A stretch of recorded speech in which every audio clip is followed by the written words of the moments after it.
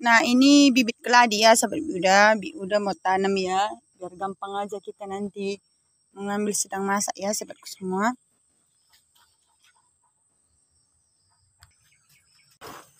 Hai sahabat Buda, berjumpa lagi dengan Buda ya. Salam jua-juan, ada Bapak Turara Senina. Amin ijape kameringan di baskin jajahan. Iya nakku, harus baik kita semua. Semoga hari ini kita dalam keadaan sehat dan rezeki yang melimpah. Amin. Nah ini ya sobat Yuda, semalam itu Bi udah bawa dari kebun kita sana ya, kebun labu ya. Bi udah bawa bibit, apa ini Ca? Bibit keladi ya kan aku? Iya, kita tanam ya. Dekat samping pokok labu kita ya sobat Yuda. Eh, kan senang nanti kita tak beli sayur, ada sayuran ya, macam-macam sayur nanti dekat uh, keliling rumah kita ya sobat Yuda. Jadi ini udah tanam. Bi udah ini semalam Padahal semalam itu kayu labu kita dari sana ambil udah angkat lagi kemari. Ternyata kita pakai tiang tidak kita gunakan lagi. Jadi ini kita pindahin dulu ya sebab udah sebelum kita tanam pokok keladi kita ya. Nah ini udah mau pindahi ya.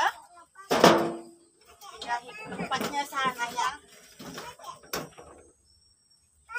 Inilah kalian kita petik ya sebab udah awalnya kita tidak ada rencana mau buat yang semen kita buat tim semen jadi kita tidak pakai lagi kayu ya. Kita uh, letak ke belakang sebelah sana samping sana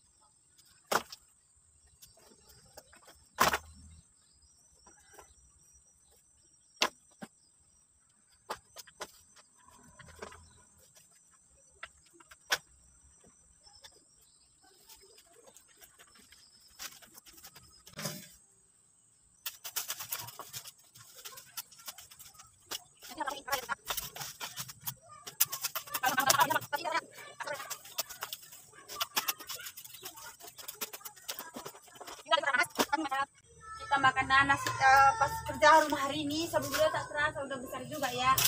Itu sebagian udah saya pindahin juga.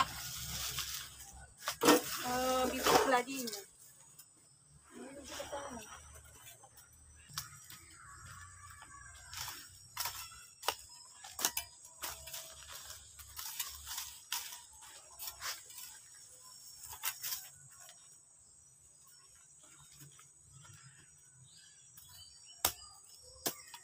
enak loh sobat kalau direbus pun enak digulai pun enak sayur asam pun enak. Ini kalau kami bahasa karena namanya suka ya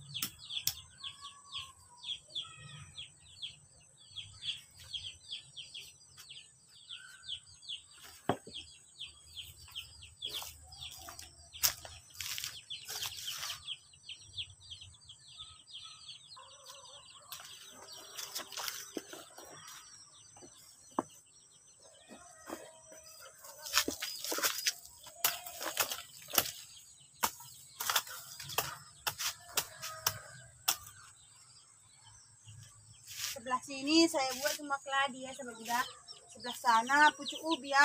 Kalau semua nanti terlalu kering pucuk ubi laku pun enggaknya. Jadi kita sebagai sebagian kan campur-campurkan sayuran dekat keliling rumah kita ya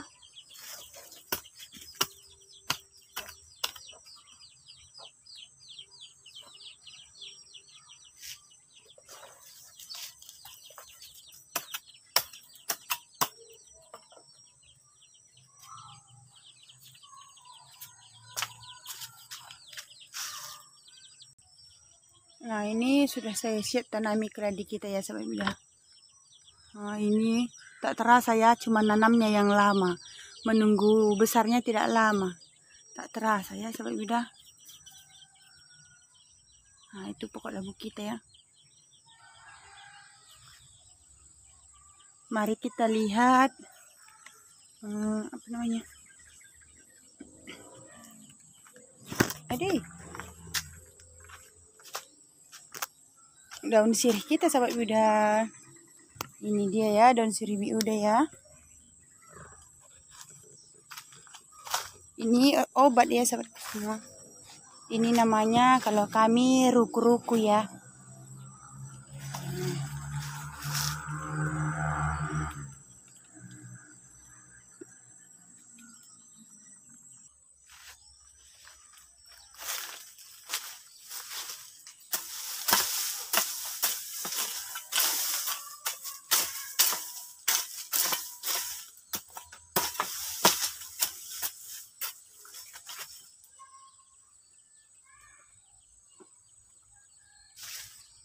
beginilah kegiatan biuda kalau pulang dari sawah ya seperti semua. Tadi kita tidak terlalu sore di sawah jadi biuda manfaatkanlah uh, sudah pulang dari sawah kita manfaatkan untuk bersih halaman dan nanam-nanam sayur kita ya seperti semua. Biuda tidak bisa terlalu fokus untuk uh, nanam sayur di rumah karena sawah kita pun menanti biuda selalu ya. Nah ini dia sirih kita ya sudah sudah subur tak terasa ya. Tapi biuda gunakan ember-ember yang pecah ya Nah, ini udah keluar pula juga. Oke sahabatku semua, sekian dulu video kita untuk hari ini. Dan ingat jangan ada kata lelah dalam setiap pekerjaan apa pun. Mari tetap semangat. Sekian dulu, salam jual jual Sampai jumpa sahabat Biuda.